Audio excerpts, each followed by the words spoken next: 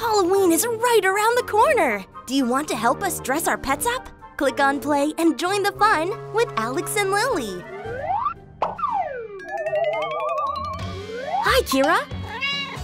Hi, Max. This Halloween is going to be great! So your costumes have to be great as well. I'm glad you're so happy. Let's not waste any more time. The costume I've got for you is really terrifying. You'll be a possessed nun. You'll see, it's going to be fun. First, you need to put on this black and white tunic. And with this coif, you'll look like a true nun. But we need to cover it with a veil like this one. Ready for a makeup session? Since this is a costume for Halloween, you'll need a scarier look. First, the foundation. Close your eyes, Kira. Thanks to a really white foundation, we'll be able to paint your face later on with colors that make a real contrast.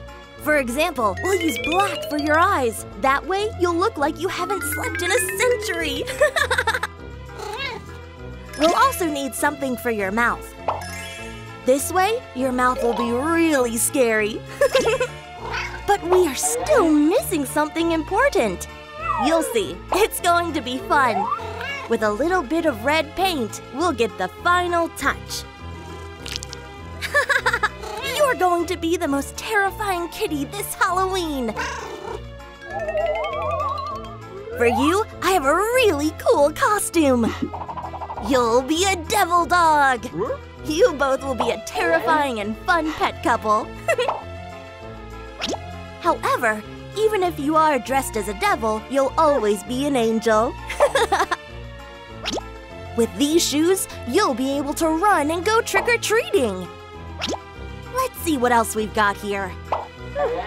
Wow! This hat with horns is really funny! And a good devil always needs wings to fly. You look great, Max! I can see you are practicing your terrifying faces. Now, all there's left to do is enjoy the Halloween party.